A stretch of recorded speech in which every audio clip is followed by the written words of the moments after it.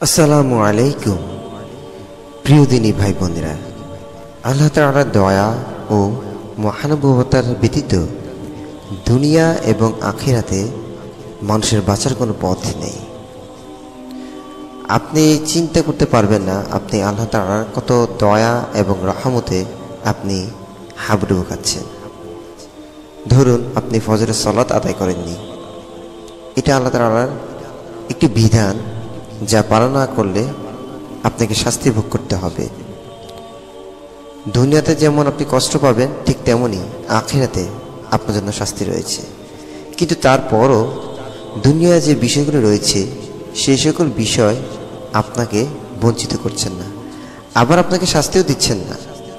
তাৎক্ষণিক না, ধীরে ধীরে আপনাকে দুনিয়ার যে মোহ, সেটা আপনাকে আঁকড়ে ধরছে। কিন্তু আল্লাহ তারা যে আপনি যে প্রশান্তি পাবেন, তৃপ্তি পাবেন, আনন্দ পাবেন, সেটির দিক থেকে আপনি বিমুখ হয়ে আছেন। আপনাকে বিমুখ রাখা হয়েছে আল্লাহ তালার যে বিধানগুলো রয়েছে, বিধানগুলো না পালন করার কারণে।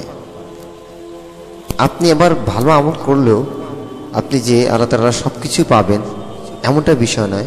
যতক্ষণ না আপনার মনের ভিতর অহংকার না আসে। অহংকার আসলে তখন আপনার যে এবাদতের স্বাদ, আপনার যে এবাদত, সে এবাদতগুলো নষ্ট হয়ে যাবে। কারণ, কারও অন্তরে যদি সরিষার দানার পরিমাণ অহংকার থাকে, তাহলে সে জানাতে প্রবেশ করতে পারবে না। আমরা দুনিয়া এবং আখেরাতে পুরোপুরিভাবে আমরা আল্লাহ তালার দয়ায় রয়েছি। বেশি আমল করে আমাদের জান্নাতে চলে যাব, এমনটা আমরা কল্পনা করতে পারি না। যতক্ষণ আল্লাহ তালা আমাকে রহম করেন, ঠিক তেমনইভাবে রসুল্লাহ সাল্লাম বলেছেন, কোনো ব্যক্তিকেই তার নিজের আমল দিয়ে জান্নাতে প্রবেশ করতে পারবে না। সাহাবিগণ বললেন, হে আল্লাহ রসুল সাল্লাহ আলী আসাল্লাম আপনিও নন? তিনি বলেন না, আমিও নই। কিন্তু আল্লাহ তালা আমাকে তার রহমত এবং মহানুভবতার আবৃত্ত করে নিয়েছে। আর তোমরা সঠিকভাবে প্রতিষ্ঠা চালিয়ে যাও এবং যথাসাধ্য নৈকট্য অর্জন করো। সহি বুকারি পাঁচ হাজার ছয়শো তিয়াত্তর নম্বর হাদিস। তো আল্লাহ রসুল সাল্লাহ সাল্লাম আল্লাহ তালার দয়ায় তিনি জান্নাত পাবেন এবং আমাদেরকে সুপারিশও করবেন।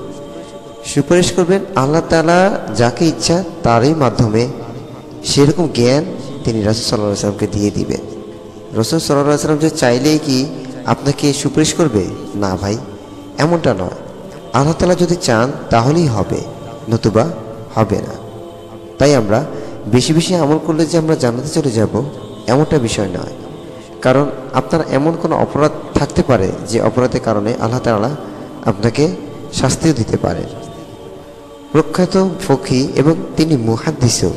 ইমাম ইবনুল জাউজি রহিমুল্লাহ একদিন তার ছাত্রদের উদ্দেশ্য করে বলেন, যখন তোমরা জান্নাতে প্রবেশ করে, আমাকে তোমাদের মধ্যে পাবে না তখন আল্লাহর কাছে আমার কথা জিজ্ঞেস করবে, হে আমাদের রব, আপনার অমুক বান্দা ইবনুল জাউজি রহমুল্লাহ, আমাদেরকে তো অনেক কথা স্মরণ করিয়ে দিয়েছেন আপনার ব্যাপারে, কিন্তু আজকের দিনে আমরা তাকে দেখতে পাচ্ছি না।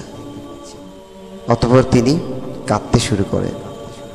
তো ইনি সেই ইবনুল জাউজি রাহেমুল্লাহ, যার হাতে প্রায় বিশ হাজার ইহুদি খ্রিস্টান ইসলাম ধর্ম গ্রহণ করেছেন।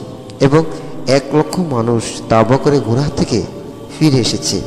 তিনি ছোট বড় মিলিয়ে প্রায় দুই হাজার কিতাব এবং প্রবন্ধ লিখেছেন এত কিছু থাকা সত্ত্বেও তিনি নিজের জান্নাতের গ্যারান্টি দিতে পারছেন না।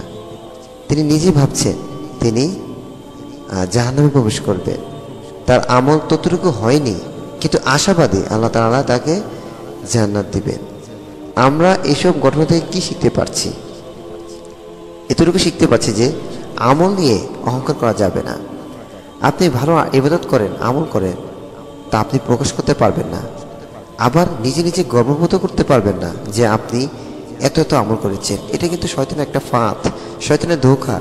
শয়তান এভাবে নিজেও অহংকারী করে জান্নাত থেকে বের হয়ে গিয়েছে। তার যে আমল ছিল, সে আমলে সে অনেক উচ্চে ছিল। এইভাবে অহংকার করতে করতে তাকে পৃথিবীতে নামিয়ে দেওয়া হয়েছে এবং সে অভিশপ্ত শয়তান। এর মধ্যে আমরা জানতে পারলাম যে নিজের প্রতি যে আমল রয়েছে, সে আমলের প্রতি ওভার কনফিডেন্ট হওয়া যাবে না। সর্বদা অহংকার মুক্ত থাকতে হবে। নিজের আমল যথাসাধ্য লুকানো অবস্থা করতে হবে আর সবসময় মনে রাখতে হবে যে আমি কিছুই করিনি। আল্লাহ তালা আমাকে যা তৌফিক দিয়েছেন আলহামদুলিল্লাহ। আর আমি ভালো বান্ধব হতে পারিনি মুত্তাকি হতে পারিনি মানুষের সামনে ভালো হতে পারিনি। আল্লাহ চোখে আমি আহ, গুনাহগার। এভাবে নিজেকে চিন্তা করতে হবে। আবার আমলও করতে হবে। আল্লাহ তালা সুরা আরাফে ছাপ্পান্ন নম্বর আয়াতে বলছেন নিশ্চয়ই আল্লাহর রহমত সৎকর্মশীলদের অতি নিকটে। তাই আমরা যদি আল্লাহ তালার রহমত পেতে চাই সৎ পথে পরিচালিত হতে হবে এবং ভালো আমল করতে হবে। আল্লাহ তালা আমাদেরকে বুঝেও মানা তাফিক দান করুক। আমি